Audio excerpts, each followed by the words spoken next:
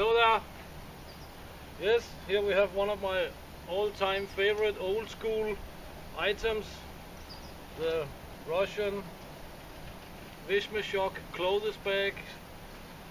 Water repellent and everything. So uh, let's try something. Let's try and uh, fill it with water and see if it can hold the water. See how it goes. It's pretty full of water, I'll say. 15 liters, 20 liters maybe. So I hang this from the tree here. You see it starts, it's, it's running out. Through the seams and so on. But not too bad. Let's give it like a 10 10 12 minute test.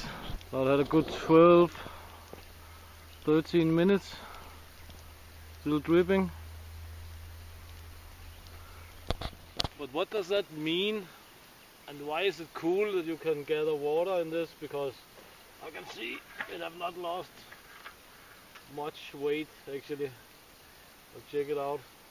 But anyway, it means that if you're in an emergency situation, emergency situation, you have a camp and you have a water relatively like this, let's say 10-15 minutes walk from there.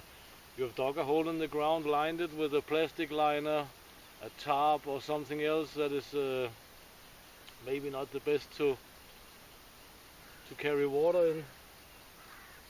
Then then uh, you could make some runs with this easily and fill up your reservoir of you have made of whatever. You might even be able to just hang it and it will be filtered down in the whatever reservoir you have. So that's it. So see you guys. Check the links. Subscribe for more boat drill and all sorts of other stuff on my channel. See you.